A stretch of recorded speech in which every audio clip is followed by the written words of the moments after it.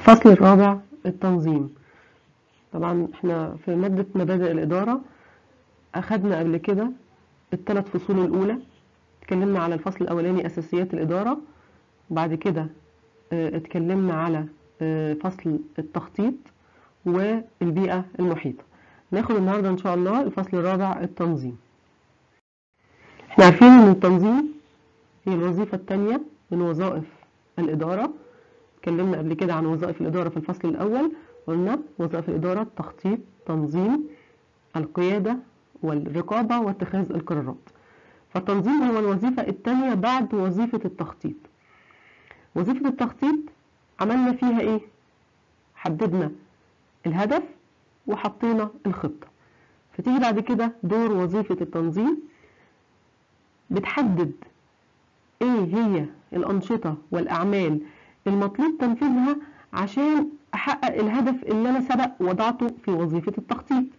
يبقى إذا أنا في وظيفة التخطيط توصلت إلى هدف أو مجموعة من الأهداف وخطة تم وضعها. هذه الخطة بقى المفروض إن هي تترجم في شكل أعمال وفي شكل أنشطة وبعد كده نشوف آه، الأنشطة دي هتت- هتتفرع بعد كده الأنشطة فرعية ووظ- ووظائف وهكذا. يبقى إذا التنظيم لما أحب أعرفه هو عملية تحديد الأعمال والأنشطة والمهام المطلوب تنفيذها لتحقيق الأهداف إزاي؟ من خلال إن أنا أحدد إيه هي الوظائف المطلوب تنفيذها عشان أنفذ الأنشطة المطلوبة إيه هي المهارات المطلوبة اللي عندي يعني الأفراد الموارد البشرية اللي هيشتغلوا معايا سلطات ومسؤوليات كل وظيفة وكل إدارة وإيه العلاقات الوظيفية ما بينهم؟ يعني هما هيشتغلوا إزاي؟ مين الرئيس؟ مين المرؤوس؟ مين في نفس المستوى الإداري؟ الشغل هيبدأ عند مين؟ وبعد كده يروح لمين؟ وينتهي عند مين؟ يبقى كل ده بتحدده وظيفة التنظيم. يبقى إذا مفهوم التنظيم إن أنا أحدد إيه هي الأعمال اللي هقوم بيها واختصاصات وسلطات ومسؤوليات. كل إدارة وكل قسم وكل وظيفة وكل فرد بيبقى عارف مطلوب منه إيه. النقطة الثانية أهمية التنظيم. من خلال التعريف اللي إحنا قلناه سابقا عايزين نطلع أهمية التنظيم. أول حاجة أنا لسه بقول عرفنا كل وظيفة من وظائف المنظمة إيه سلطتها وإيه مسؤولياتها. فإذا أول أهمية الأهمية من أهمية التنظيم إن أنا حددت الدور المطلوب من كل وظيفة من وظائف المنظمة وحددت سلطتها إيه ومسؤولياتها إيه. وبالتالي كمان تحديد دور كل إدارة يعني مثلا إدارة الإنتاج مطلوب منها إيه؟ مطلوب منها تنتج وحدات قد إيه خلال الهدف المطلوب أو خلال الخطة اللي تم وضعها. يبقى أنا عرفت كل إدارة مطلوب منها إيه هي سلطاتها إيه مسؤولياتها إيه. وبالتالي النقطة الثالثة إن أنا عرفت العلاقات الوظيفية ما بين الإدارات والأقسام المختلفة. كل إدارة هتشتغل مع الإدارة التانية إزاي؟ يعني مثلا الإنتاج هتطلب من قسم مثلا الموارد البشرية عايزين عمالة آه، بمواصفات كذا آه، آه، عايزين من القسم التسويق عايزين تعمل لنا إعلانات عن المنتج عايزين عاي... يبقى إذا كل إدارة إزاي هتتعامل مع الإدارات الأخرى؟ سواء كانت في نفس المستوى الإداري بتاعها أو في مستويات أعلى أو في مستويات أقل. لما كل واحد بيبقى عارف في وظيفته مطلوب منه إيه إيه واجباته إيه مسؤولياته وإيه سلطاته عارف وظيفته عارف الإدارة اللي بيشتغل فيها إيه سلطاتها وإيه مسؤولياتها يبقى أنا كده بقضي على الغموض الوظيفي. اللي هو كل واحد مبقاش فاهم هو بيشتغل إيه بيعمل إيه. لا أنت قاعد على مكتبك عارف أنت بتشتغل إيه وظيفتك إيه إيه مطلوب منك واجباتك مسؤولياتك والإدارة بتاعتك مطلوب منها إيه؟ وهكذا. لما يبقى كل واحد معروف هو مطلوب منه إيه؟ واجباته إيه؟ مسؤولياته إيه؟ فبالتالي أعرف أراقب عليهم بسهولة جدا لأن الحاجات دي متحددة مسبقا. فلما كل واحد ينفذ المطلوب عليه أنا أعرف بعد كده أعرف أعمل عملية الرقابة الفعالة على اعمال وأنشطة المنظمة. وبالتالي لما كل واحد فاهم الشغل بتاعه فاهم العمل بتاعه واختصاصاته فأنا بوفر بيئة عمل ومناخ تنظيمي ملائم يساعد على إنجاز الأهداف اللي أنا سبق وضعتها طيب التنظيم بيبدأ بإيه؟ إيه هي خطوات وظيفة التنظيم التنظيم إحنا لسه كنا بنقول في التعريف إن هو تحديد الأنشطة الرئيسية والفرعية وأعرف كل وظيفة مطلوب منها إيه بس قبل ما التنظيم يبدأ شغله إحنا لسه في البداية كنا بنقول إن هي الوظيفة التانية بعد وظيفة التخطيط. طيب ما هي هتبني شغلها على وظيفة التخطيط؟ يبقى اذا أول حاجة تعملها وظيفة التنظيم هي فهم ومراجعة أهداف وخطط المنظمة اللي هي سبق وظيفة التخطيط عملتها. أو توقفت عندها شغلها عملت حددت الأهداف وحطت لي الخطة بتاعت المنظمة. تيجي بقى التنظيم تاخد منه هذه الأهداف والخطط تراجعها كويس جدا عشان تبدأ تبني عليها شغلها. اللي هو أول حاجة بتعملها بعد ما تفهم وتراجع الخطط والأهداف دي إن هي تحدد بقى إيه هي الأنشطة الرئيسية اللي هتشتغل معانا. يعني مثلا إنتاج هتشتغل. هت... هتنتجي لي انت المطلوب منك في الخطة دي ان انت مثلا تنتج لي خلال الفترة الزمنية المطلوبة تنتج لي مثلا 1000 وحدة. التسويق انت عليك ان انت تعمل لي اعلانات وتعمل لي تحدد لي منافذ التوزيع وتحدد لي الترويج للسلعة دي. التمويل انت تحدد لي مصادر الأموال اللي أنا هشتغل بيها. تمام؟ وهكذا. يبقى أنا بطلب من كل قسم بشوف هو مطلوب منه إيه عشان في الآخر يحدد لي أو يحقق لي الهدف المطلوب. بعد ما حددت الأنشطة الرئيسية اللي هي الإنتاج والتسويق والتمويل والموارد البشرية وغيرها تحت كل نشاط رئيسي يبدأ يتفرع منه أنشطة فرعية. يعني مثلا قسم التسويق بيتفرع منه مثلا إيه؟ تسعير المنتج تصميم المنتج تحديد منافذ البيع الإعلانات والترويج وهكذا. فكل تحت كل واحد يبدأ يتفرع أو يتحدد الأنشطة والعمليات الفرعية بتاعته ونشوف مطلوب منه إيه. بعد كده في كل نشاط فرعي في مجموعة من الوظائف. أحدد بقى إيه هي الوظائف المطلوبة اللي هي هتشتغل معانا وأحدد لها الإيه؟ الخصائص بتاعتها والسلطات والمسؤوليات عشان بعد كده أشوف مين الفرد اللي هيشتغل في هذه الوظيفة. يبقى أنا بحدد الوظيفة الأول وبعدين لسه هوزع عليها الأفراد اللي, اللي بيبقوا موجودين معايا. طيب بعد كده بيتحدد سلطات ومسؤوليات كل وظيفة وعلاقتها بالوظائف الأخرى وعلاقتها بالإدارات الأخرى. يعني أنا وظيفتي علاقتي بالوظيفة التانية في نفس إدارتي إيه؟ طب إدارة الإنتاج علاقتها بالتسويق إيه؟ طب علاقتها بالإدارة الأعلى منها إيه؟ وهكذا. ودي بحدد شبكة الاتصالات الداخلية في المنظمة اللي هي بين قوسين اسمها العلاقات الوظيفية. بعد كده أنا خلاص كده وصلت لمرحلة إن أنا حددت الوظائف اللي هتشتغل معايا حددت السلطات والمسؤوليات أبدأ بقى أوفر وأوزع عليها الموارد اللي هتشتغل بيها سواء كانت موارد بشرية أو موارد مادية.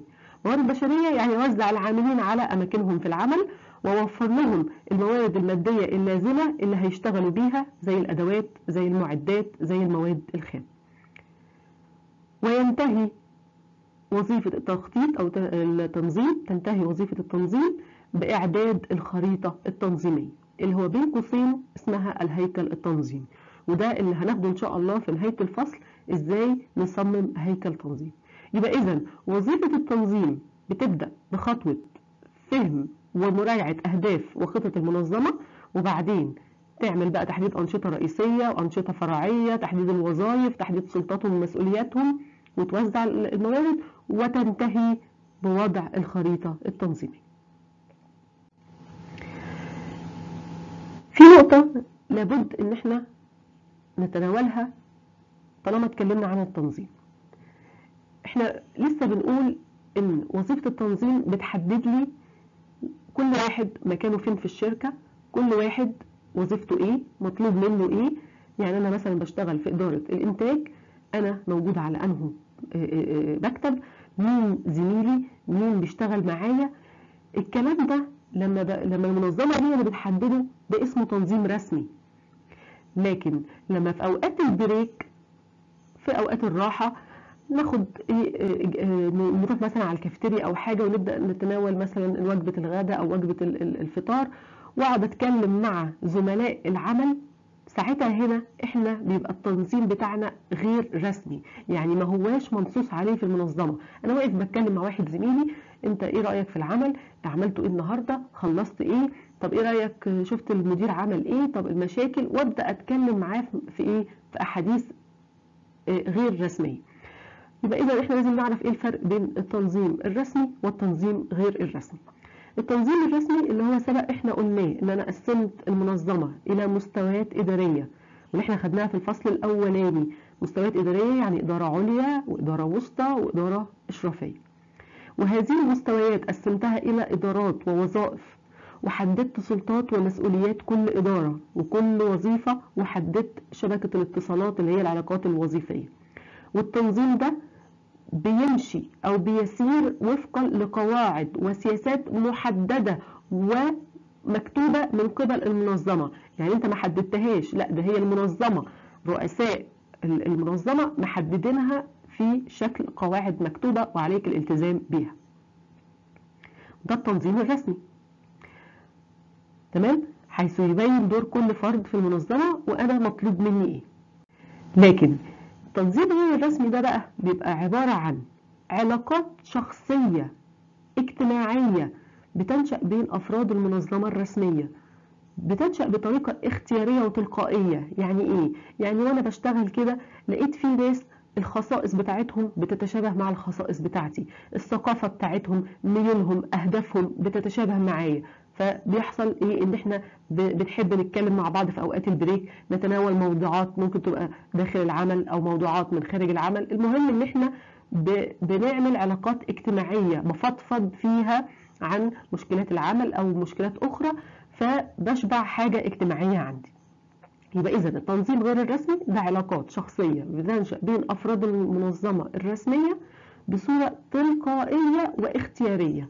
ونحط تحت اختيارية دي كذا خط. ليه؟ لأن هو ده الفرق ما بين التنظيم غير الرسمي والتنظيم الرسمي. التنظيم الرسمي أنت مجبر تعمل حاجة معينة واجبات ومسؤوليات عليك وظيفتك فرضها عليك. لكن التنظيم غير الرسمي أنت اخترت الأشخاص اللي إيه؟ هتتكلم معاهم في أمور غير رسمية. وطبعا زي ما قلنا. بتيجي من نتيجة تشابه في خصائص الأفراد مع بعضها. هذه التنظيمات غير الرسمية غير منصوص عليها في اللوائح التنظيمية. ده معناها إن القواعد والتقاليد اللي ما بينهم ما بتكونش مكتوبة.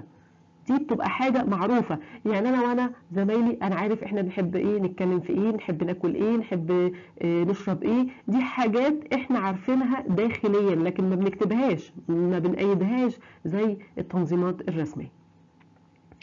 طيب هل التنظيم غير الرسمي ده كويس؟ مفيد يعني للشركة ولا لا؟ قال لي والله هو ليه الجانبين ليه إيجابياته وليه سلبياته.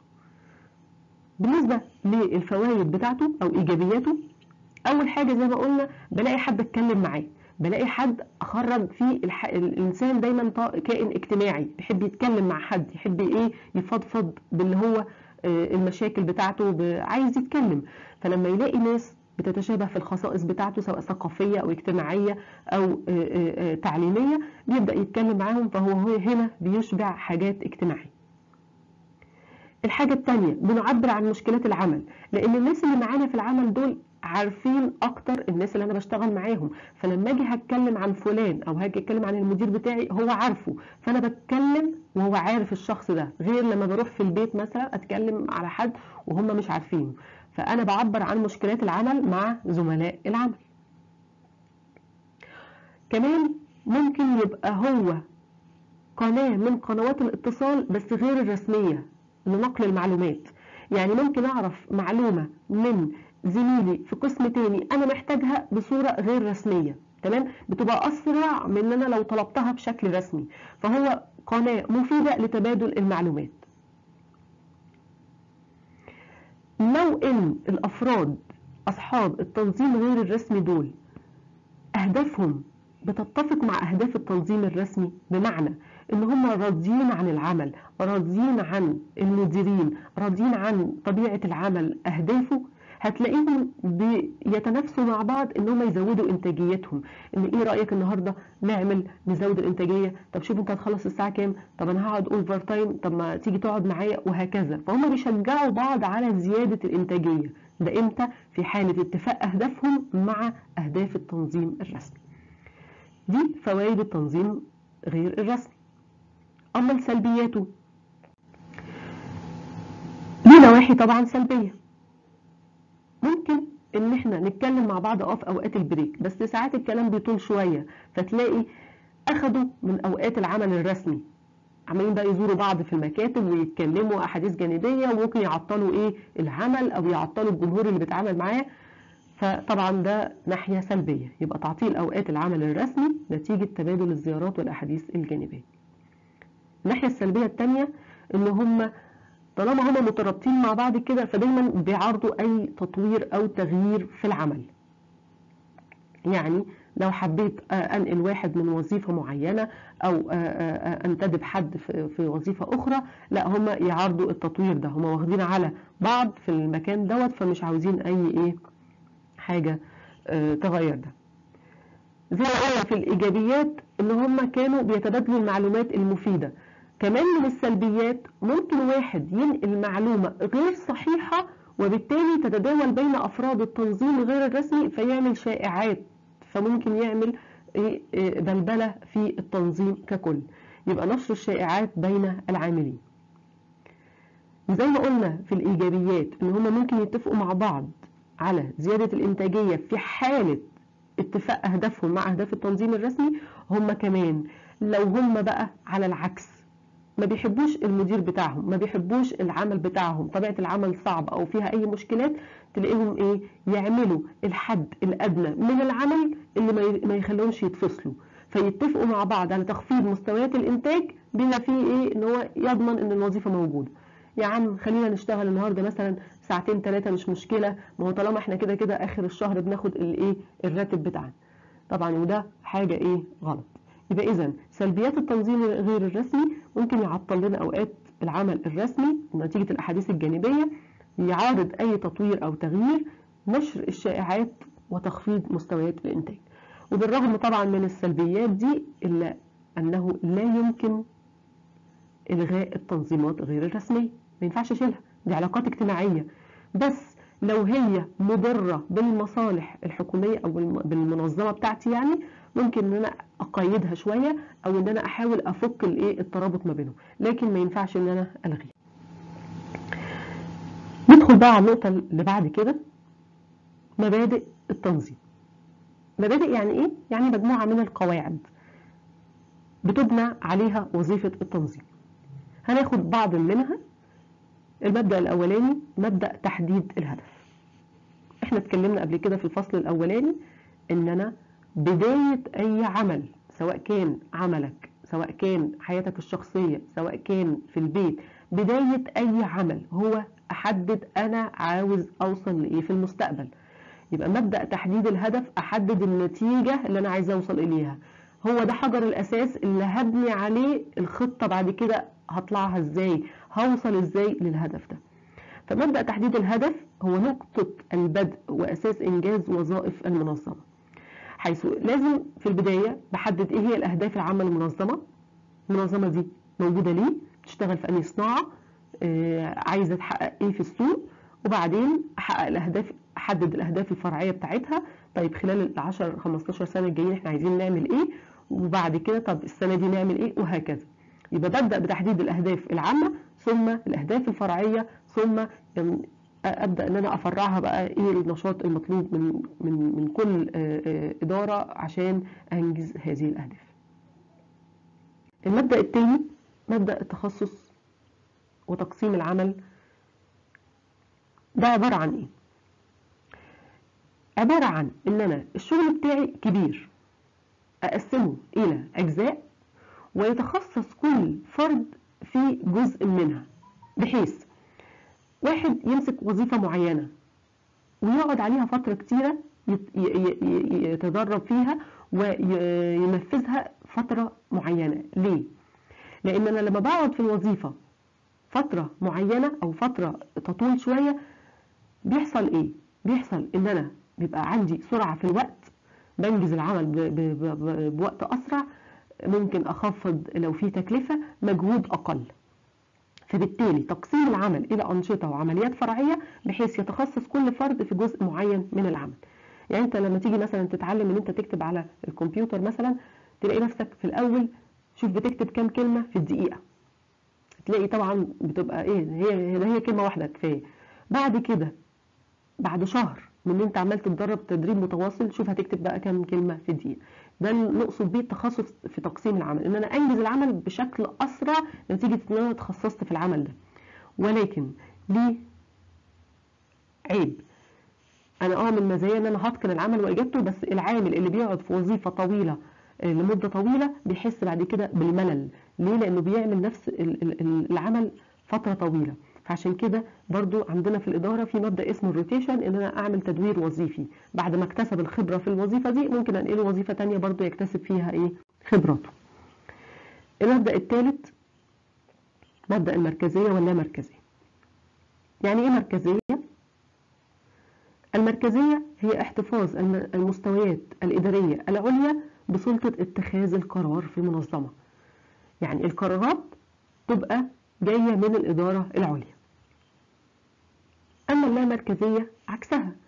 إن الإدارات تفوض السلطة للإدارات اللي أقل منها إن هي تاخد قراراتها بنفسها. طبعا في أمور ما تبقاش آه، هامة جدا أو في أمور خاصة بشغله. دايما ال- القرارات الهامة التي تمس حياة أو فشل المنظمات بتبقى خاصة بالإدارة العليا. لكن مثلا آه، آه، واحد عايز ياخد أجازة مثلا يبقى آه، يمضيها من المدير بتاعه والمدير بتاعه يوديها لقسم الموارد البشرية وهكذا. مش لازم بقى أطلع لرئيس مجلس الإدارة عشان أخد أجازة. يبقى إذا في موضوعات معينة ممكن إن أنا أعمل فيها تفويض أو توزيع سلطة اتخاذ القرار. المبدأ الرابع مبدأ نطاق الإشراف. يعني إيه نطاق الإشراف؟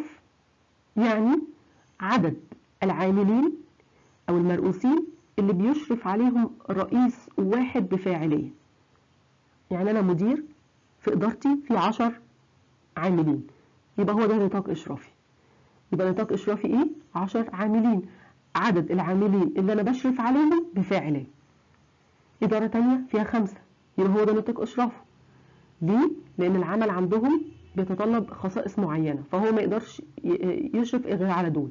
يبقى إذا نطاق إشراف هو عدد المرؤوسين الذي يشرف عليهم رئيس واحد بفاعليه طيب إيه اللي خلى إدارة فيها عشرة وإدارة تانية فيها خمسة؟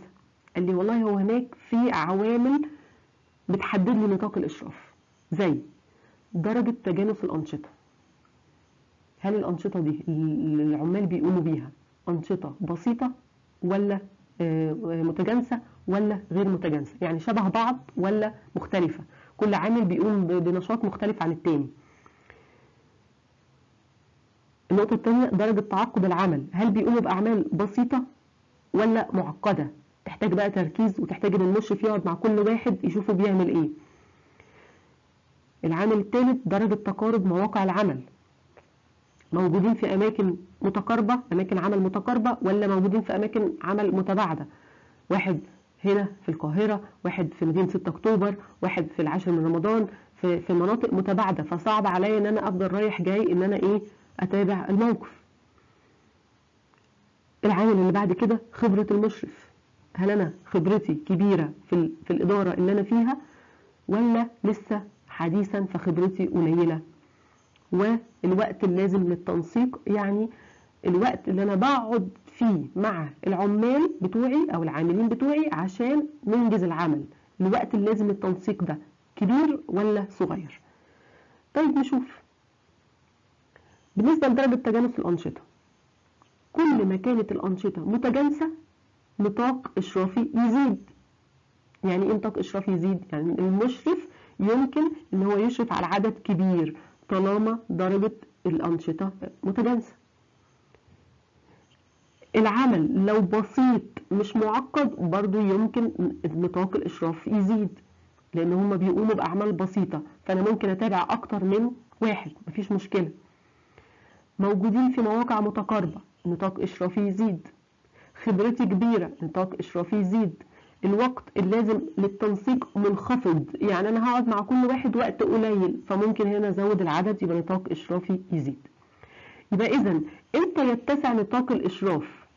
إذا كانت الأنشطة متجانسة الأعمال غير معقدة مواقع العمل متقاربة خبرة المشرف كبيرة والوقت اللازم للتنسيق منخفض. وطبعا العكس صحيح نطاق إشراف يضيق إمتى؟ إذا كانت الأنشطة غير متجانسة يعني مختلفة. كل مجموعة بتؤدي عمل بشكل مختلف فما ينفعش إن أنا أتابع كل دول فبكتفي بمجموعة ويجي مشرف تاني إيه يشرف على المجموعة التانية. أو كانت الأعمال معقدة بتحتاج تفاصيل كتير بتحتاج إن أنا أقعد مع العمال كتير يبقى نطاق إشرافي إيدي أو مواقع العمل متباعدة. مش عارف إن أنا أتواجد مع جميع العمال في نفس الوقت. يبقى إذا نطاق إشرافي إيدي. أو خبرتي صغيرة. برضو نطاق إشرافي دي أو الوقت اللازم للتنسيق العمل مرتفع. إن أنا أقعد مع كل واحد وأفهمه مطلوب منه إيه وأتابعه كبير. فهنا لا نطاق إشرافي هنا يضيق. يبقى اذا نطاق الإشراف بيتسع إمتى لما الأنشطة تبقى متجانسة غير معقدة موجودة في مكان واحد أو متقاربة خبرة المشرف كبيرة والوقت اللازم للتنسيق إيه؟ منخفض. ولو عكسنا الكلام ده يبقى هنا نطاق الإشراف بيضيق. النقطة اللي بعد كده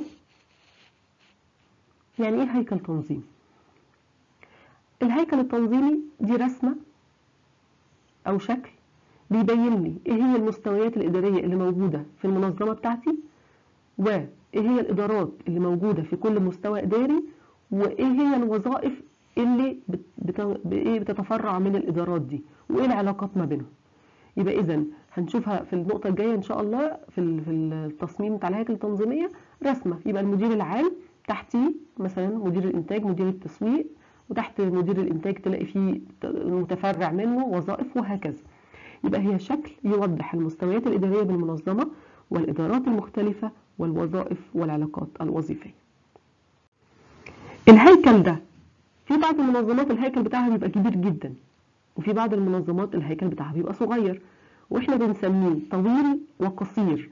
طويل لأنه بيبقى واخد شكل كده كبير من كتر الإدارات اللي فيه أو من عدد الإدارات زيادة عنده أو عدد الإدارات أقل فبينكمش فبيبقى الهيكل ده قصير. طيب إيه اللي يخلي الهيكل طويل أو قصير؟ ففي مجموعة من العوامل التي تؤثر في تصميم الهيكل التنظيمي. هذه العوامل ممكن ناخد منها التخصص وتقسيم العمل حجم المنظمة ومعدل نموها درجة الانتشار الجغرافي ونطاق الإشراف اللي كنا لسه بنتكلم عليه. أول حاجة التخصص وتقسيم العمل. انت لسه بتقول تخصص يعني أخلي كل فرد في وظيفة معينة أو مجموعة أفراد في وظيفة معينة. كل ما انت زودت الوظائف أو كل ما زودت الإدارات كل ما الهيكل عندي بيزيد. لأن الإدارات دي بتظهر بتنور عندي على طول في الهيكل التنظيمي. يبقى كل ما زادت درجة التخصص كل ما زادت عدد الإدارات وبالتالي الهيكل التنظيمي عندي بيزيد. والعكس صحيح. كلما انخفضت درجة التخصص كلما انخفضت عدد الإدارات كلما انخفض الهيكل التنظيمي يعني نقدر نقول عليها علاقة طردية. كلما زاد العامل ده كلما زاد الهيكل التنظيمي العامل الثاني حجم المنظمة ومعدل نموها. حجم المنظمة. المنظمة لو كبيرة معناها إن فيها تخصصات كتيرة. والتخصصات الكتيرة إحنا لسه بنقول معناها إدارات كتيرة والإدارات الكتيرة معناها إن الهيكل التنظيمي هيبقى كبير. يبقى كلما زاد حجم المنظمة كلما زادت عدد الإدارات اللي فيها وبالتالي زاد الهيكل التنظيمي. وطبعا معدل النمو لو الشركة دي بتكبر معايا معدل نموها بيزيد. كل ما بتكبر كل ما بتعمل فروع جديدة فبالتالي بتظهر عندي في الهيكل التنظيمي في شكل إدارات تختص بخدمة الفروع الجديدة فبرضو عدد الإدارات بتزيد والهيكل التنظيمي بيزيد. وأيضا العكس صحيح كلما كانت المنظمة صغيرة في الحجم يعني تخصصات أقل يعني إدارات أقل يبقى الهيكل التنظيمي قصير. معدل نموها صغير أو هي معدل نموها الكيرف نازل خلاص إن هي بتخرج من السوق فهي المعدل بيقل يبقى عدد الادارات بتقل وبالتالي برضو الهيكل التنظيمي قصير. العامل الثالث درجة الانتشار الجغرافي. إحنا لسه بنقول لو أنا شركة عندي مناطق جغرافية بخدمها فبالتالي لازم هيبقى في إدارات عندي في الهيكل كل إدارة بتخدم المنطقة اللي أنا فيها. يعني مثلا أنا ليا فروع في جمهورية مصر العربية. تلاقي عندي الهيكل مقسمينهم كده زي تقسيمات المحافظات في وجه قبلي وجه بحري في القاهرة الكبرى. يبقى إدارة بتخدم مثلا مناطق وجه بحري إدارة بتخدم مناطق وجه قبلي إدارة بتختص بالعاصمة القاهرة الكبرى والجيزة والقليوبية وهكذا. فإذا كل ما تعددت المناطق اللي بتخدمها المنظمة كل ما زادت عدد الإدارات وبالتالي زاد الهيكل التنظيمي وأيضا العكس صحيح. يبقى إذا العامل لغاية هنا وإحنا ماشيين كده علاقة طردية يبقى كل ما ده يزيد الهيكل التنظيمي يزيد. ده يقل يبقى الهيكل التنظيمي يقل أو يبقى قصير. نيجي بقى لنطاق الإشراف. إحنا قلنا نطاق الإشراف عدد المرؤوسين اللي يمكن لمشرف واحد الإشراف عليهم بفاعلية أو رئيس واحد يشرف عليهم بفاعلية. ولا نطاق إشرافي بيزيد. ده معناه هزود عدد الإدارات ولا هقلل عدد الإدارات؟ إحنا قلنا إمتى نطاق إشرافي بيزيد لما يقوموا بأنشطة متجانسة متشابهة. يبقى كده تخصص واحد. موجودين في أماكن متقاربة يبقى موجودين في مكان واحد. يبقى كل دول يتحطوا في إدارة. يبقى إذا كل ما نطاق إشرافي زاد أنا ضيقت عدد الإدارات. هنا بقى تبقى علاقة عكسية. وعدد الإدارات قليل يبقى إذا الهيكل التنظيمي قصير. طب نعكسها. نطاق إشرافي ضيق. ليه؟ نتيجة إن التخصصات مختلفة لأن الأنشطة اللي بيقوموا بيها غير متجانسة مختلفة. ففي تخصصات مختلفة فأنشأت لها إدارات تختص بيها أو موجودين في أماكن متباعدة فعملت لها إدارات بتخدم المناطق اللي بتتعامل فيها وهكذا. يبقى نطاق إشرافي. ضاق فأدى إلى زيادة الإدارات وزيادة الإدارات أدت إلى زيادة الهيكل التنظيمي يبقى نقدر نقول إن الثلاث عوامل الأولية تخصص وحجم المنظمة ودرجة الانتشار الجغرافي ده طردي. علاقة طردية. كل ما تزيد العوامل دي كل ما الهيكل التنظيمي يزيد. لكن نطاق الإشراف أعرف كده. أول ما يقول نطاق الإشراف يتسع يبقى دي زيادة يبقى الهيكل التنظيمي هيقل. عدد الإدارات تقل الهيكل التنظيمي يقل. قال لي نطاق الإشراف يضيق يبقى عدد الإدارات هتزيد يبقى الهيكل بتاعي هيزيد. يبقى نطاق الإشراف الحاجة الوحيدة أو العامل الوحيد اللي العلاقة بينه وبين الهيكل التنظيمي عكسية. تمام؟ طيب نشوف بقى إزاي نصمم هيكل تنظيمي. عندي أكتر من طريقة لتصميم الهياكل التنظيمية عندي أول طريقة ودي الطريقة الشائعة اللي هي التنظيم على أساس الوظائف اللي هي وظائف المنظمة اللي إحنا برضو خدناها في الفصل الأولاني. إنتاج تسويق تمويل موارد بشرية. وفي التنظيم على أساس المناطق الجغرافية وفي التنظيم على أساس المنتجات. وفي التنظيم على أساس العملاء. وفي تصميمات أخرى عندك في الكتاب بس إحنا إيه هناخد الأربعة دول. أول حاجة إحنا قلناها اللي هو التنظيم الشائع أو اللي هو بيقوم أساسا على الوظائف الأساسية للمنظمة واخدة من اسمه. أنا التنظيم ده بعمله على أساس إيه؟ وظائفي. فإيه هي الوظائف بتاعتي؟ قلنا التمويل الإنتاج والتسويق والتمويل والموارد البشرية. فأعمل هنا دايما خانة المدير العام ده على طول معانا في الرسم فوق ينزل مني يتفرع مني الوظائف الايه الأساسية اللي أنا بقوم فيها في أي منظمة. وإحنا خدنا قبل كده إن على الأقل الوظائف المنظمة بتبقى أربعة ممكن تبقى خمسة ممكن تبقى أكتر. فأنت ممكن تكتفي بالأربعة اللي هو الإنتاج تسويق تمويل والموارد البشرية. يبقى معنى التنظيم ده إن أنا بجمع الأنشطة أو الأعمال اللي بتقوم في المنظمة على أساس الوظائف الأساسية بحيث كل إدارة هتختص بوظيفة معينة. وبعدين تحت كل وظيفة ترجع تاني تنقسم حسب الأنشطة الفرعية ليها زي مثلا التسويق بينقسم إلى رئيس قسم التسعير رئيس قسم الترويج رئيس قسم المنتجات رئيس قسم الإيه؟ التوزيع. يعني جواها ترجع تاني تتقسم إلى برضو وظائف فرعية. انت ممكن تكتفي بالجزء الايه ان أنا اعرف بس مدير عام والوظائف الأساسية بتاعتي. طيب لكل تصميم ليه وليه عيب؟ أو ليه مزايا وليه عيوب؟ بالنسبة لتصميم الوظائف المزايا بتاعته أول حاجة هو ساعدني على إن أنا طبقت مبدا التخصص تقسيم العمل. أنا اشتغلت على وظائف المنظمة بتاعتي كل واحد مختص بوظيفة معينة. فكده أنا أضمن إن أنا اشراف ورقابة على جميع أنشطة المنظمة الأساسية اللي هي أقسامها الأساسية. يبقى اذا المزايا بتاعتي ضمان الإشراف والرقابة على جميع أنشطة المنظمة الأساسية المساعدة على تطبيق التخصص وتقسيم العمل. لكن التصميم ده ما ينفعش لو أنا عندي فروع. ما ينفعش لو أنا عايزه أعمل تصميم على أساس منتجات عندي أكتر من منتج. ما ينفعش لو أنا عندي بتعامل مع أكتر من عميل يبقى ده التصميم الأولي الأساسي الشائع. لكن لما يبقى في حالات استثنائية أستخدم بقى التصميمات الأخرى.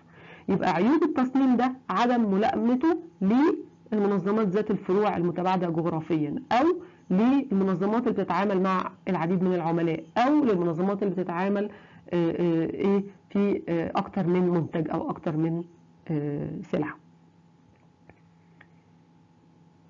نيجي بقى للتصميم التاني. التصميم على المناطق الجغرافية. لو أنا بتعامل في مناطق متعددة بخدم أكتر من منطقة فهنا أجمع الأنشطة والأعمال بتاعه كل منطقة جغرافية وأعمل لها إدارة مختصة بيها. نفس الكلام هنا المدير العام معانا أهو فوق دايما هو ده المستوى الأول وبعدين بينزل بينقسم منه الإدارات اللي أنا هقسمها. يبقى في البداية أقسم الأول حسب المناطق الجغرافية اللي أنا بتعامل معاها. فأنا مثلا زي ما قلنا من شوية أنا بتعامل في المنتج بتاعي بيتوزع في جمهورية مصر العربية في المحافظات بتاعتي فأقسمها لمنطقة وجه قبلي منطقة وجه بحري ومنطقة الإيه؟ القاهرة الكبرى. تحت كل واحد من دول بقى أرجع أقسمها حسب الوظائف. أقول بقى إنتاج تسويق تمويل موارد بشرية. يبقى الحتة اللي أنا عملتها دي إن أنا زودت أهو الهيكل التنظيمي. ليه؟ زودت إدارات عشان أنا بخدم مناطق جغرافية. ودي الحتة اللي إحنا لسه كنا بنتكلم عليها إن لما درجة الانتشار الجغرافي كل ما زادت كل ما يزيد الهيكل التنظيمي. يبقى أنا هنا زودت مستوى إداري قبل ما أقسم المنظمة إلى إنتاج وتسويق وتمويل وإيه؟ موارد بشرية. يبقى هنا كان أنا عملت الثلاث شركات صغيرة جوه بعض. يعني مدير منطقة القاهرة الكبرى هرجع أقسمها لوحدها إنتاج تسويق تمويل موارد بشرية الوجه البحري وهكذا. فإيه كل واحد بقى منه هيتفرع الإيه الوظائف بتاعته. معايا التصميم بتاع المناطق الجغرافية إن أنا بلبي احتياجات كل منطقة جغرافية. يعني مثلا السلعة بتاعتي بتتباع أكتر فين؟ في وجه بحري مثلا. يبقى هنا بيبقى أنا بلبي المنطقة بتاعتي بالحجم بال... بال... بالكميه الإنتاج اللي أنا بعملها بالأسعار بالوسائل الترويج الإعلانات أي حاجة. يبقى أنا هنا بركز على احتياجات كل إيه؟ منطقة. لكن خلي بالك كل ما بزود عدد الإدارات كل ما تظهر صعوبة التنسيق بين هذه الإدارات. يبقى العيب ده ممكن أنا أخده في الهياكل التنظيمية المتعددة اللي بيزيد فيها عدد الإدارات. فممكن آخد العيب ده كده إيه حاجة مشتركة. صعوبة التنسيق بين المركز الرئيسي والفروع أو صعوبة التنسيق بين الإدارات. طبعا زيادة التكاليف أنا قلت لسه بقول من شوية أنا كأني ثلاث شركات صغيرة في بعض.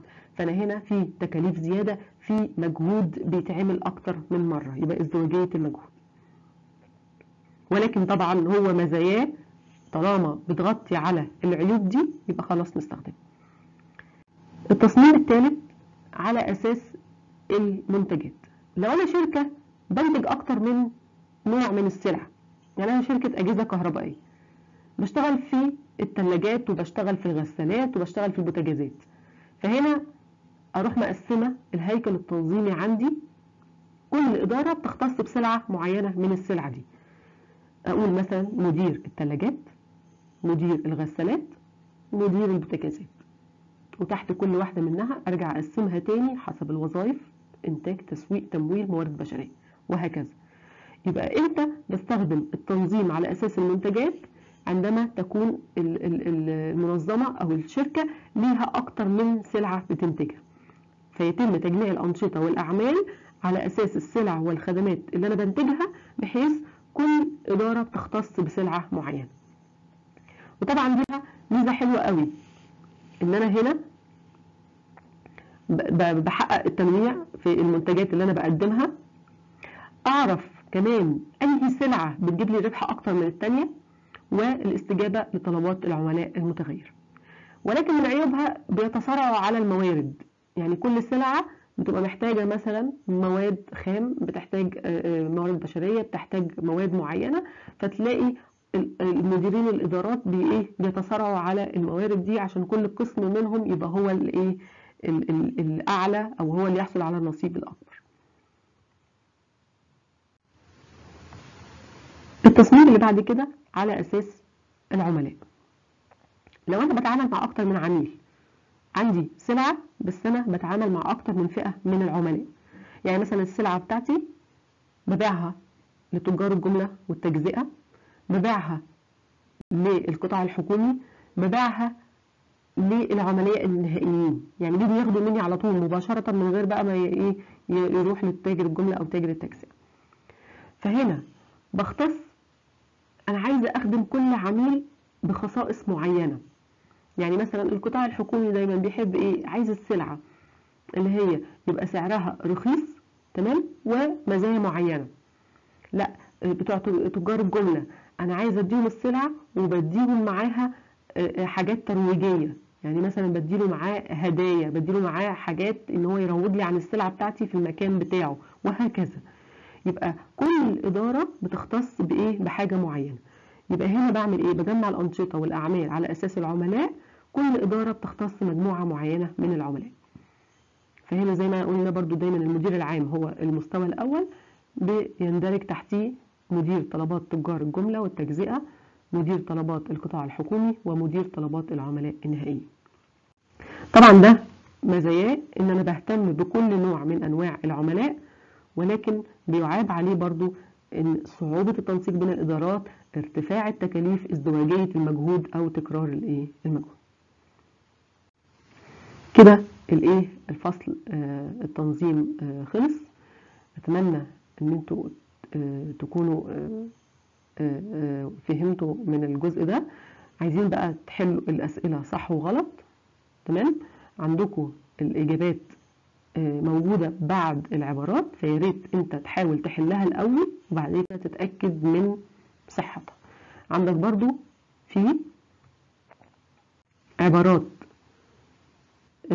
اختيارات لأن انت عارف إن الامتحان بيبقى عبارة عن جزء صح وغلط وجزء اختيارات وجزء مقالي تمام؟ وبرضو هتلاقي الايه الإجابة موجودة عندك فياريت برضو إيه نحلها ونتأكد من الحل.